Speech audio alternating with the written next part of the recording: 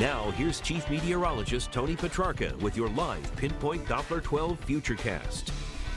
Well, heading to the beach tomorrow, sunscreen a must. A lot of sunshine coming up for tomorrow. Beautiful day. In fact, even right now, uh, it's very nice. Skies have cleared out after kind of a gray, damp start early this morning. These are live pictures down in Newport now, looking at uh, Newport Harbor with uh, clear weather.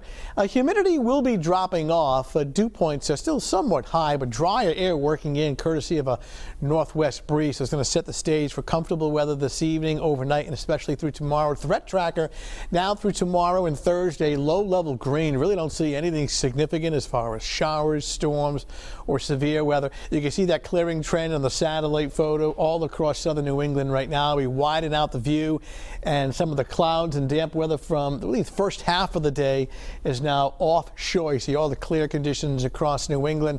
As we widen out the view, we see high pressure fair weather system right in here.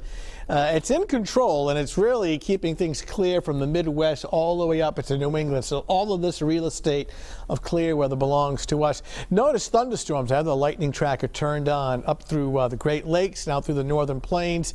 Storms staying away. So we're in the right spot for the next uh, couple of days, even through Friday, for some pretty decent weather. I mean, temperatures are not that bad. We really don't see any signs of, uh, you know, big heat or heat waves building. So the pattern uh, really favors temperatures to be either at or slightly uh, above normal, but as far as excessive warmth, uh, not in the cards here. Getting real close, take a look at Futurecast.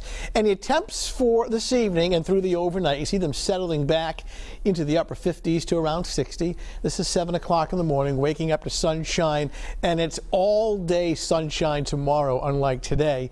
By 2 o'clock in the afternoon, notice areas away from the coastline are, are in the lower 80s, around 82, 83. Beaches in the south shore with a sea breeze mid 70s, gorgeous. Then tomorrow evening at 6 o'clock, sunshine.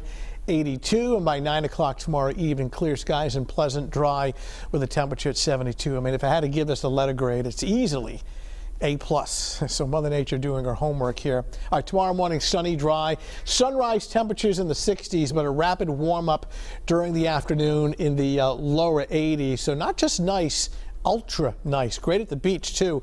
Water temp at 70, safe sun time coming in at 15 minutes. Uh, Futurecast, as far as the shower coverage next several days, it is practically nothing here through Friday. We'll inch it up into at least the isolated category on Saturday. But looking at the weekend Futurecast, at this point, I wouldn't call either Saturday or Sunday uh, rain days or stormy, but rather the chance for a couple of showers both of those days.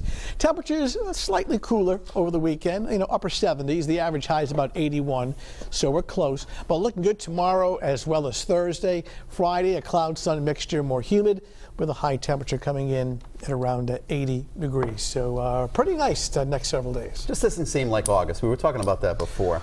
Well, I mean, I, it was when we were kids. It always seemed like it was hot. just hot, hot and humid. Uh, seasonable temperatures, but the long-range forecast at the end of the month doesn't really foresee any big heat building. All right, tomorrow's beautiful, though. Yeah. All right, thank you, Tony.